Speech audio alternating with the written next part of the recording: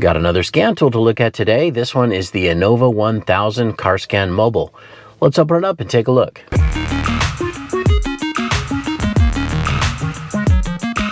Hey, what's up YouTube? Dan the Fix-It Man. Got another quick video here for you.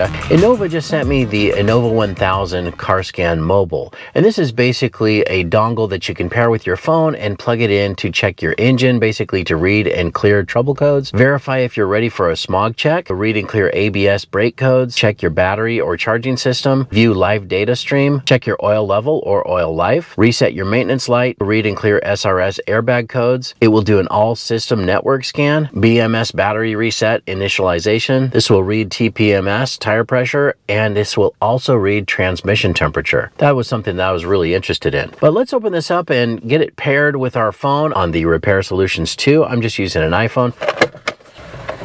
Okay, so it's got a little card here that we need to scan. That will take you to the Repair Solutions 2 app. I've already got the app downloaded on my phone and it is ready now to pair with the device. So you can see it's just a little dongle like this. It's really small, really compact. And I'm just gonna plug this into the OBD2 port in the vehicle, which is right down here. And then I'm just gonna turn the ignition on, but not start the vehicle.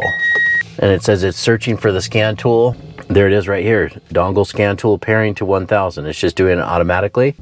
Success, your scan tool has been paired successfully. It's got a button here to view tutorials. I'm gonna go ahead and just click on that and see where it takes us. There's lots of frequently asked questions getting started, a couple tutorials that you could flip through here, which is pretty neat. But I'm gonna hit done and let's just jump right into it. I'm gonna see if I can figure this out without watching those tutorials. So check engine, engine codes and fixes. Let's just click that first. Cannot read VIN from your tool. Please select the connected vehicle or enter your VIN to continue. I'm gonna scan the VIN using the camera. I'm gonna jump outside and scan that real quick. And that worked perfectly. I was able to scan the VIN and there it is. It's a 2004 Toyota Tundra V8 4.7 liter and it's asking me to select option. This is a double cab, so we'll hit that and then push continue. Okay, now it wants to know our odometer. And the reason for this is it says it will allow us to give more accurate fixes and vehicle maintenance updates. So let's hit 305, 514. Got a lot of miles on this Tundra.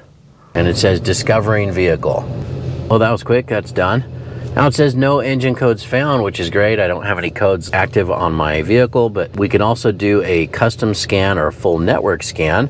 Here it's also saying maintenance items. It says that there are four maintenance items, 235 new bulletins, 49 new recalls, warranty details. I'm sure we're outside of warranty at this point. Vehicle history report and enhanced VIN decode. Let's take a look here at the maintenance items. I'm wondering what it is that it's suggesting that we need to do. So right here it says four items due at 310,000 miles So because I put in my mileage at 305, 514, it's basically saying at 310, I'm going to need to change the engine oil and filter, inspect the brake system, friction material, hydraulic system, measure brake linings, rotor thickness, run out, rotate tires, inspect wear, and adjust the tire pressure. That's just giving you some little reminders, which is good if you're just now learning how to work on vehicles. But here I'm going to do a full network scan. I just want to see the capability of this tool and see how that works. And it gives you a little bit of a countdown here, three seconds remaining. Yeah, here it says scanning engine control module, oil life level, scanning transmission fluid temperature. I don't know if this truck actually has a sensor on that, so I'll be interested to know if it if it gives a readout for the transmission temperature. And I don't have tire pressure sensors, so I don't think that that will show up here either. Of course, it depends on your vehicle, what sensors you have. This is a 2004, it's a little bit older. Maybe on a newer vehicle where you have more of those sensors, it's gonna give you some data or some information on that. Okay, so it says we do have two codes found after doing a whole system scan of eight modules. And let's go ahead and just click on this to get our results. So we do have an ABS control system malfunction, master cylinder pressure sensor, the C1223 and C1246. Most likely fix is to replace the ABS relay. Now it's also giving a part right here, the multi-purpose relay. Part details, a look at that. It says quantity one, the tool takes you right to Amazon where you can purchase that exact part that you need. Let's go back into the repair solutions. So it's also giving us some more information. Our battery status is charging very well because the car's on at 14.3. Transmission fluid temperature, 82.4 degrees Fahrenheit. Now I didn't even know if I had a sensor in this truck because it's a little bit older as far as the transmission fluid temperature, and we do. This is huge. A lot of scan tools do not read the transmission fluid temperature, so that's really great to know, especially like on a long steep grade on a road trip. In our van, sometimes that transmission does get pretty hot. I would really love to know what the temperature is when running that on a, on a really hot day up a grade. It does give us the option to erase those codes. I'm not going to do that until I dive into that a little bit more and see what's going on. But I'm going to go back to home here. Now I already did the whole system scan and I already did the, uh, the read codes. We're not going to erase codes, but let's take a look at our live data so here we can select all or select each individual data PID. So this has got uh, several, but we've got the vehicle speed sensor, which we're parked, so we're not gonna get any data there. Engine RPM, we'll select that. And then we're gonna also select engine coolant temperature, mass airflow sensor, intake air temperature. Let's hit done showing our engine RPM right around 700 or just over 700. Engine coolant temperature, we're at 181. It's warmed up since I've been idling here for a minute. Mass airflow sensor, it's 0.737. Let's rev the engine just a little bit. And there you go. You see it jump. Now it's 1.38. I'm going to take my foot off the throttle again. You saw the RPMs jump up as well. And the intake air temperature is 73 degrees.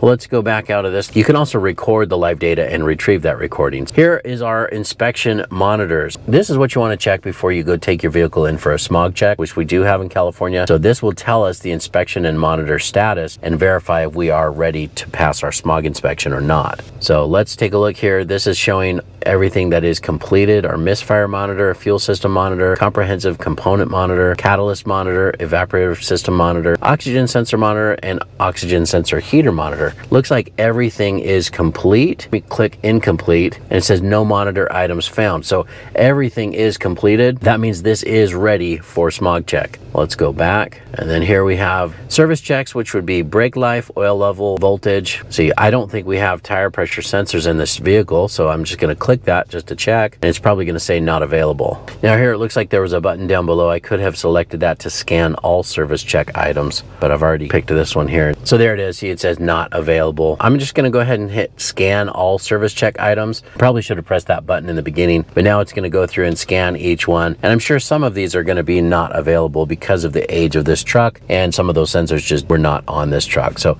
yeah, sure enough. So brake life, not available, oil level, not available, battery voltage 14.1, and transmission fluid temperature 100 degrees right now. So here we also have service functions, perform resets and relearns. Again, here a lot of these are not going to apply to this 2004 Toyota Tundra, but there are some things that you can do. I don't even think we have an oil maintenance light in this truck. Battery reset, that's something that you'll you'll need on newer vehicles as well. But here it says we can do a battery test.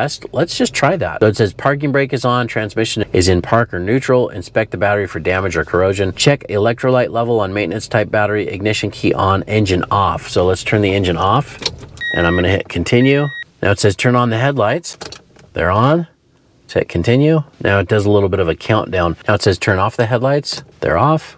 Hit continue. Now it says start the engine. It must be started within 30 seconds. Started easily. Battery system pass. Now we can also test our alternator. Let's do that real quick. Parking brake on, transmission in park or neutral, start the engine and turn on the headlights. I'm gonna turn them on. And it says do not perform this test on a smart alternator, hybrid, or electric vehicles. Now it says increase the engine speed above 2000 RPM and hold it until the countdown reaches zero. So let's do that. Now it says turn the headlights to off and return to idle. Alternator status, voltage good. 14.03 volts, charging voltage is within specifications. Well, I'll tell you, that's a very easy to use tool. And of course, you know, we almost always have our phones with us. And so if you just carry that little dongle and keep it in your glove box, I mean, that is such a valuable tool to have with you and be able to diagnose your engine when you're out on the road. I mean, not only if you end up with a check engine light or something going on, you can at least read the code and find out if it's something that's really critical and you need to either pull over or be towed, or it could be a check engine light on for something that's pretty insignificant and you can at least, you know, drive the vehicle home. But having that information is just huge. That's a game changer. So I love the idea that this is so small and portable and I plan on keeping this with me or keeping this in the vehicle. I'll probably get a few more of these and keep one in each vehicle. I would really love to have an OBD2 scanner in every vehicle. As you saw, that's just simple plug and play. You plug it in and it pairs to your phone right away. Now, if you run into a problem or you need help, just click this icon on the top right and you can see right here, find a shop, legal, or support. You can click support and click get help and it will take you right here to where you can email and get an answer within a few hours, or you can chat. There, it says right now they're online. You can talk with their team in real time. This is based in Irvine, California. US-based support that can help you if you run into an issue. Also, all of the updates on this app are free. There's no subscription that you have to do. This is unlimited number of scans that you can do for any vehicle. You don't have to pay a subscription service to use this tool. Some of the tools do that where you have to pay or renew your service or that only lasts a year. This is unlimited. Once you buy this tool, it's yours. You plug it in and the updates on the app are unlimited and free. So I'm really happy that they sent it to me. Again, that's how small this tool is. It's just a little dongle that plugs into your vehicle. And you can see though right here on the side, it does have the QR code printed right there so that you can scan that and download the app. You know, if you lose the card or lose that box. If you just have this with you on the road and your smartphone, you should be good to go. You should be able to diagnose your vehicle, find out what's going on. That's pretty much everything. I hope you like this video. Please give it a thumbs up and subscribe if you don't mind. That does help me out. And of course, I'll get a link in the description where you can pick up this exact same scan tool for your vehicle as well. Thanks so much for watching and good luck.